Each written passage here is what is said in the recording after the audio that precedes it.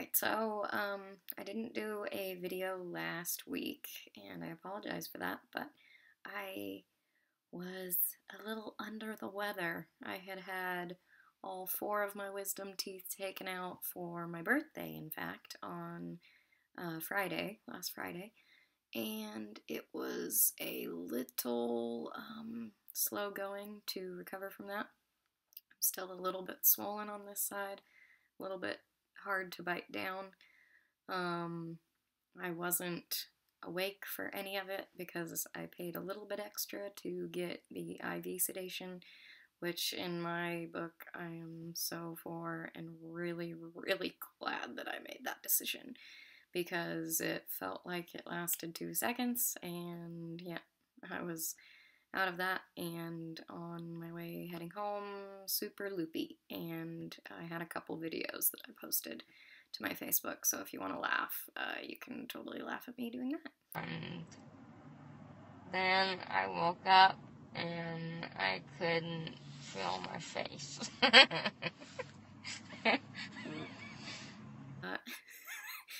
I am not as young as most people are when they get their wisdom teeth pulled, which is um, anywhere from early teens to, um, yeah, like early 20s. So I'm doing it a little bit later in life, and it's been tough to jump back.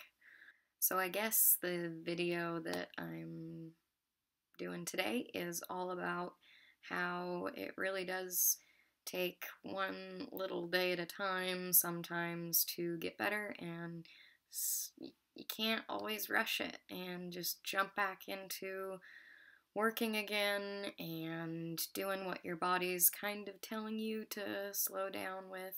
And it's, yeah, it's kind of not an easy thing to listen to your body when, uh, when you're sick because your head likes to tell you, oh, you know, I'm bored, or oh, I can do this, or I'm capable of that. Whereas your body could be telling you, actually, no. like, don't listen to this. Listen to me. I know what I'm doing. I've been doing it for years. So, um, yeah, it was definitely a practice this last week in being mindful of where my body was and what I was capable of doing, what I wasn't capable of doing I luckily had awesome friends that I work with uh, or coworkers that were able to help me and cover some of my shifts. Thank you to you guys. And um, I'm, yeah, I'm almost all way all the way back to healed. So it's pretty awesome. Just a little bit more to go. But um, another thing is is that I'm just really really grateful for my health and it's, man, being sick and going through some stuff is really difficult. And so, anybody out there who's going through health issues right now, I am so sorry for you, and I'm sending you all my love and uh, swift recoveries.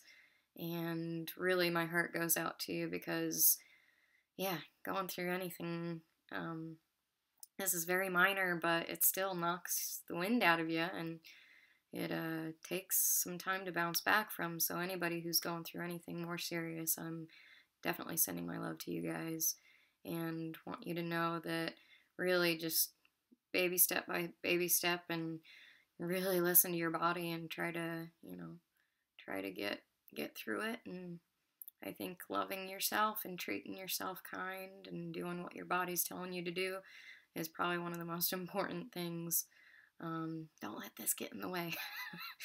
uh, our minds are pretty strong and powerful things, so if we can quiet them and uh, listen more to our bodies, I think that uh, they kind of know best as to what's um, healthy for us. So, yeah, I'm wishing everybody um, great health and happiness and sending all my love to you guys and hoping you have an amazing week.